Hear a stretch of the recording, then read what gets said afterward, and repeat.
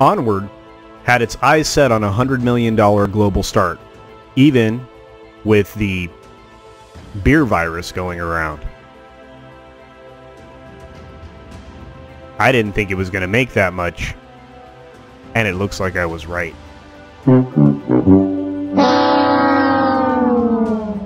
Ladies and gentlemen, hiss and foes, welcome to the Culture Casino!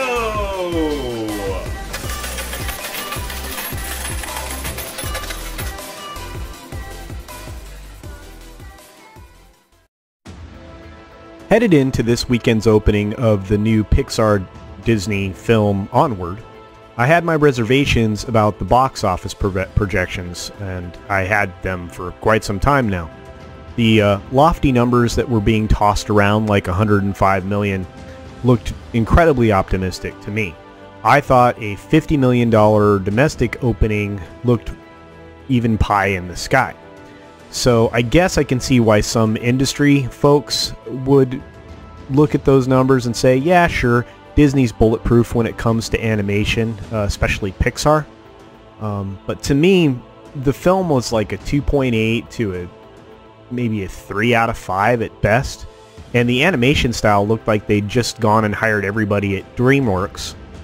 And the pacing was a complete mess. Uh, the story was the film's best asset outside of the wonderful voice acting done by Tom Holland and Chris Pratt.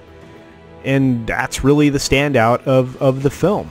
Um, as I said in my film review a few days ago, it's the movie was just kind of meh.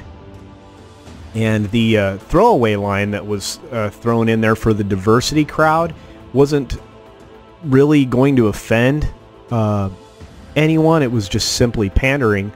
Um, the only thing it might do is create some uh, uncomfortable conversations for the younger members of the audience uh, with their parents. Uh, maybe the parents aren't ready to have that discussion yet. So one of the first challenges of this film, uh, when you look at it from outside, may have been the organized movement 1 Million Moms. Um, while I'm sure when you look at it from the outside, uh, this film has one element that goes against their traditional values, but it's very possible that the grab your pearls moment that was exactly 10 seconds long uh, would have been missed by most people for the most part, or even largely ignored. So the film itself has been pulled back a few weeks uh, in some markets because of, uh, well, to allow for the bulk of the uh, beer virus concerns to pass. None of these things, uh, though, should have affected the North American turnout. So why was this weekend's box office earnings so low?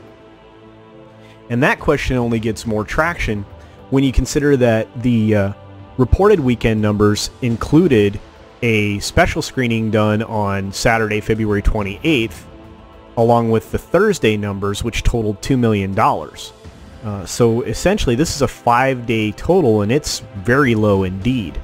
Um, CV isn't really keeping many people from their daily activities, uh, while some larger events have been canceled or postponed, uh, South by Southwest, for example. Um, people are still traveling. They're still consuming entertainment.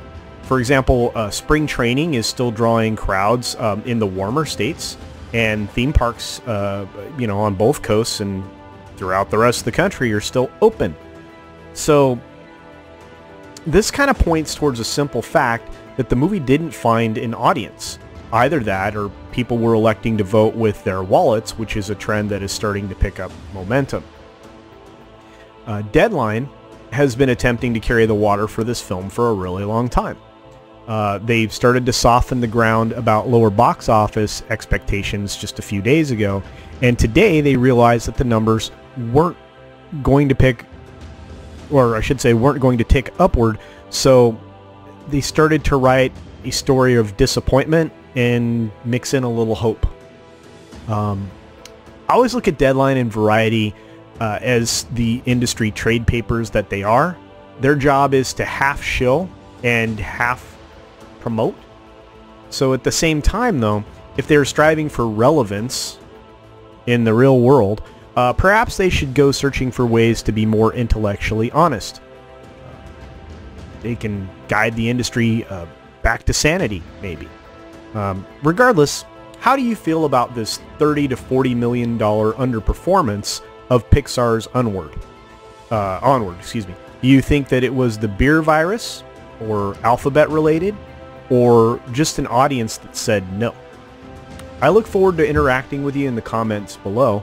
Uh, thanks for sharing a few minutes here today. I really appreciate your time. Just take a few more seconds for me and hit the subscribe button along with the little bell icon so you know whenever a new video gets posted. Also, please hit the like button if you enjoyed the video. Um, I hope you all had a great day. Uh, and that's straight from the heart. And no matter where you are, it should be a good day.